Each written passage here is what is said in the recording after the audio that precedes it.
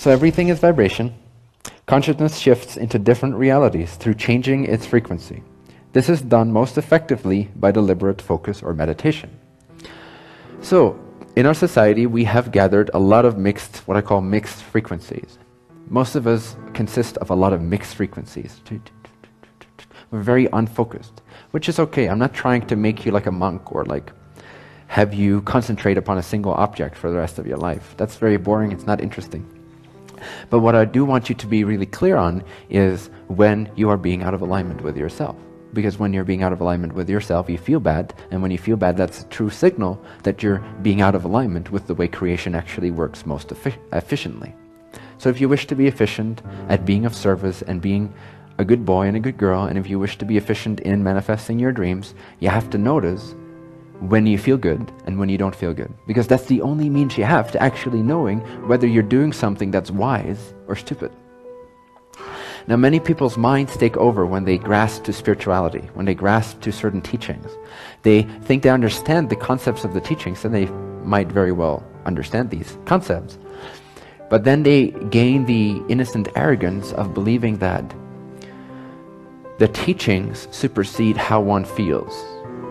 So, in other words, one starts to place one's feelings in certain boxes that make sense from the teachings or the teacher's perspective. Now, this is a very bad mistake, even though you can't make any mistakes. It's a very bad choice because uh, you're literally going against nature, you're going against your own stream, and you're separating yourself from true wisdom. So, true wisdom requires you to be really attentive to your overall general feeling state. If your feeling state feels really holistically good, you feel abundant, you feel free, you feel loving, you feel giving, you feel like you're on top of the world, then somehow you must have aligned your frequencies right the moment right before that experience. Or just in general, that day, your mind or your perspective, your focus must be in alignment with something that's actually in alignment for you and therefore for all of creation. Does that make sense so far? Okay. So, yeah, this is done most effectively by deliberate focus or meditation. So many of us, again, have these mixed frequencies. Therefore, focus can be quite helpful in streamlining your vibration and really getting to know the nature of consciousness and the nature of frequency and the nature of who you are as an individuated expression of the all that is consciousness. Your individuated I am consciousness is an expression, is a reflection, it's an extension of the all that is, all simultaneously in one moment, timelessly so, aware of everything all at once, consciousness. You are an expression of that, an extension of that. Does that make sense? Do you feel that? Do you believe that? You cannot be separated from consciousness because you are consciousness. But you are consciousness experienced through your particular focal point of I am. Makes sense, right? Okay. So, it really helps to gain focus. Focus really helps. Deliberate attention really helps in getting to know who you are. And there's no greater pleasure in life than to know who you truly are. Than to know, we could sort of go into the philosophical realm of it and say like why you're here and what you're here to do, what your purpose is. And sometimes these ideas can be distracting. But in general, that is a correct statement. It's very liberating to know who you are and why you are here.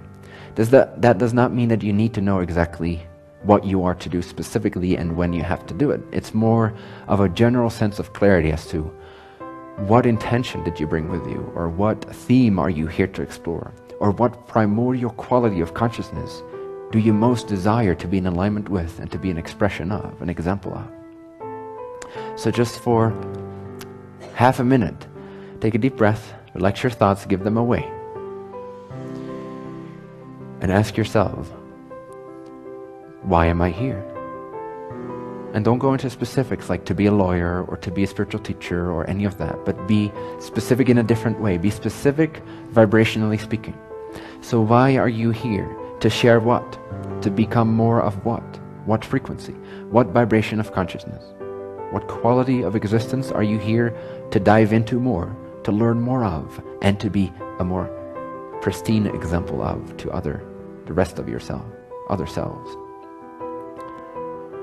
Just for a few seconds, tune into that question. Who are you? Why are you here? What's most important to you? And I'm assuming that you have found some type of quality, even if it's as abstract as unconditional love, which is absolutely gorgeous. It can be more specific, but it doesn't have to be. So as soon as you find a particular vibration of consciousness, a quality of existence that you feel really drawn towards, that you feel like, yes, this is what I wish to be an example of, this is what I wish to embody and exude and vibrate as. When you find that, let's go into the concentration aspect of it. So simply place your attention on the idea that brings you into that quality of your choice. So, think, in other words, simply think of the state of your choice, the frequency of your prefer, preference, your soul's preference in that sense. Bring your attention to that idea and see how maybe there may be some distractions. You may go back and forth. But overall, you have a pretty clear picture back and forth of that image or of that sensation or of that idea. So you bring your attention back to it again and again. You focus on it again and again. This is concentration.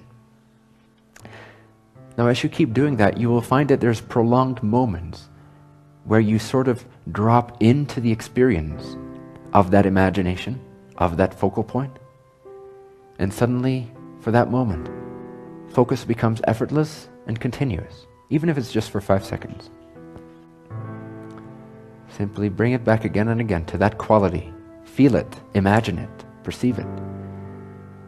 And you will find that the stream of your attention becomes more constantly focused on that and less focused on your physical body here.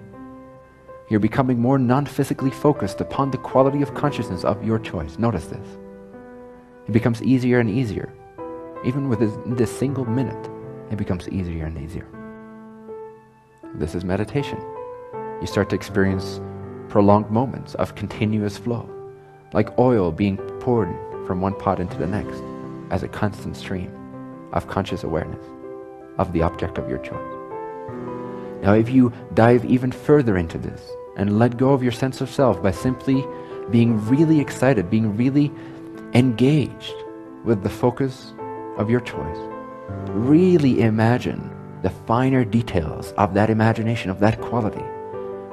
How would you express yourself? What would you feel like? What would it look like? What would the smile on your face look like? Really embody, absorb the quality of your choice. Really merge with it. Drop into it until all else fades away. And all you perceive is the pristine, crystalline vision of your focus. Like empty space being filled up only with the quality of your choosing. You start to lose, gently lose awareness, or even for just moments, lose awareness of you having a body, of you sitting in a room, and all you really perceive in that moment or for those glimpses is what it's like to be that frequency of consciousness. So imagine your preferred reality, your preferred state of being, your preferred state of circumstance. It's all one thing eventually. And completely let go into this reality. Make it more real than this one. Allow yourself to know that imagination is real. Equally as valid of a choice as physical imagination. Let those qualities blossom. Feel them, see them, be them, act according to them.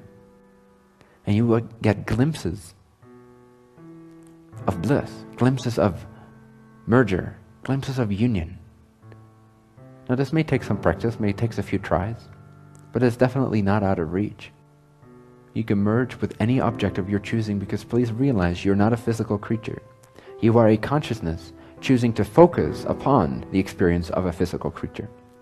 So you might as well every once in a while, or even more often than not, focus upon the quality of your choosing, the non physical quality of consciousness that you wish to very efficiently and quickly embody more of.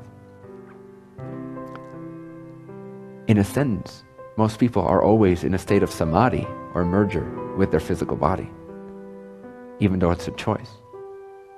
So this is not a new concept to you. Whenever you feel completely identified with this reality, this physical reality, you are in samadhi, you are in union consciousness with this particular portion or option of creation.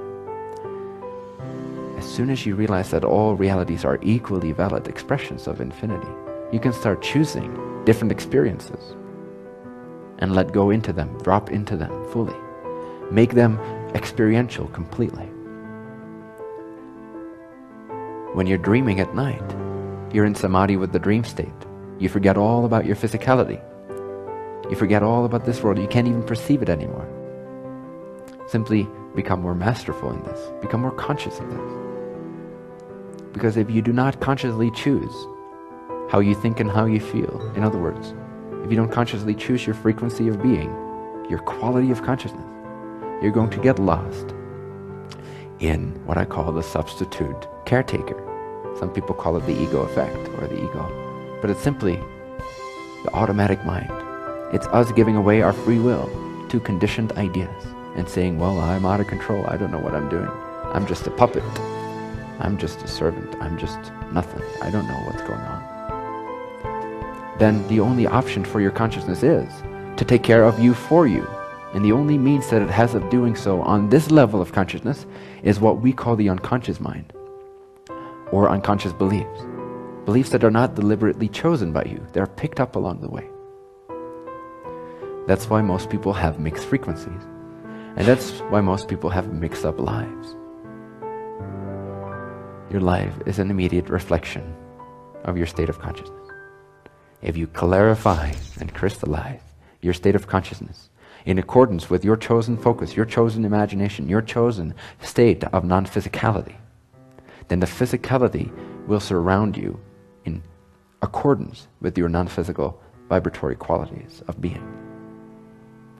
So learn to take back your free will from the unconscious mind, where it seems like you're absolutely without control, to the conscious, deliberate focus until you start realizing hey, wait a second, I am meant to be a conscious co creator of creation. And then things start flowing for you because you start flowing in alignment with the truth of creation. Does this make sense?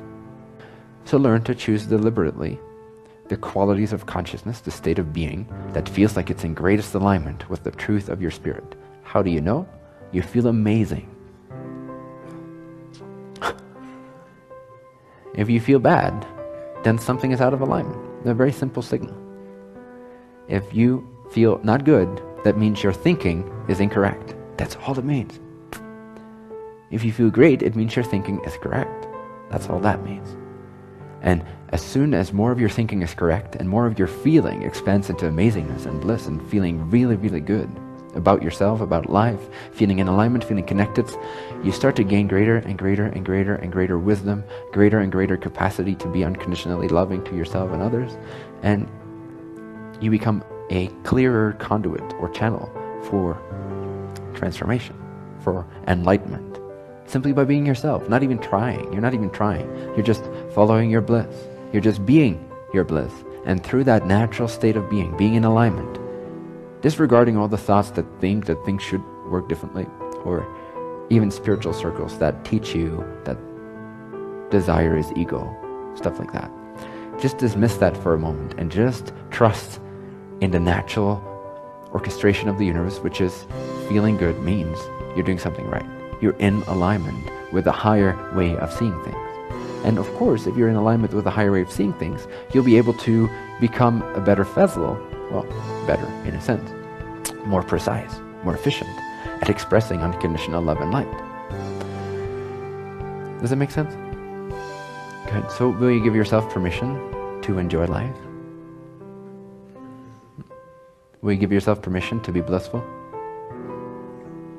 Will you start focusing more deliberately upon the qualities of consciousness that make you feel amazing? And will you remember and remind yourself that whenever you feel amazing, you feel the most connected. You feel like you are the most abundant, the most capable, the most giving, the most of service. Can you resolve the paradox of the mind where you think you have to suffer in order to be of service? And reconcile that in the vision that makes much more sense. Because unity is one unity, it's one being. And why would it set up its creation, which is meant to express itself in such a way that it has to hurt itself in order to be of service to itself? Does not make any sense.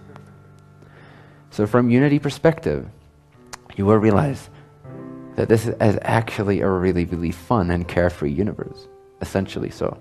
Now we can use that carefree freedom to make it really hard, to make it really difficult, to make it really unworthy looking.